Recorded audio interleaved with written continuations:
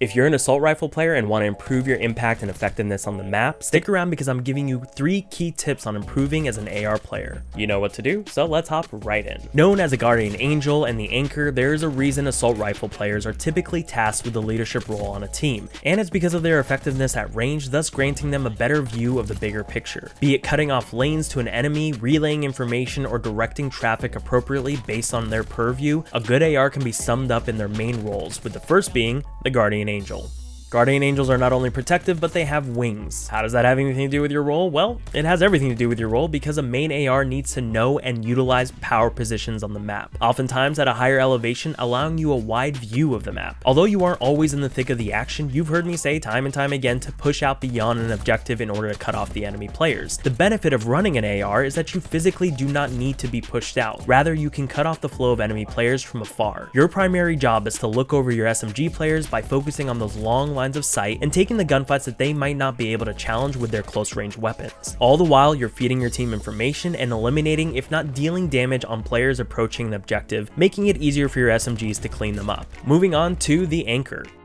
This role refers to the player who's pushed back far enough to hold down the preferred spawns for your team, hence the anchor. The reason the AR is primarily the anchor is because of their ability to both block spawns, which are typically removed from an objective, while also looking over the objective. An SMG player typically cannot anchor spawns while also being effective because submachine guns are of course not as effective at range, which brings us to the last role, which isn't really a role, it's more of an understanding of when to slow down and when to speed up.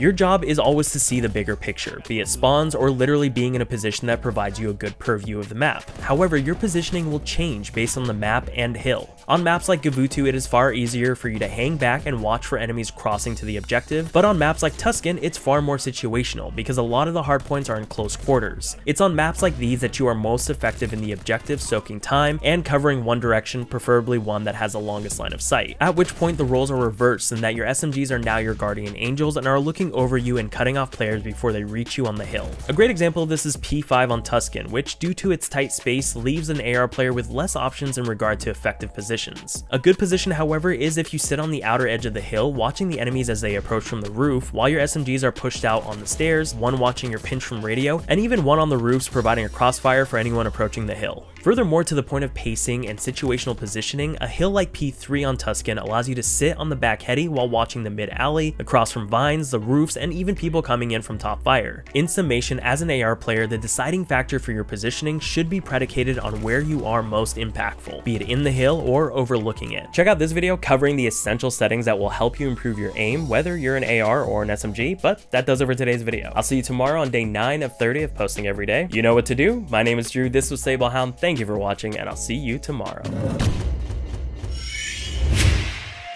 Hey, I want to be famous.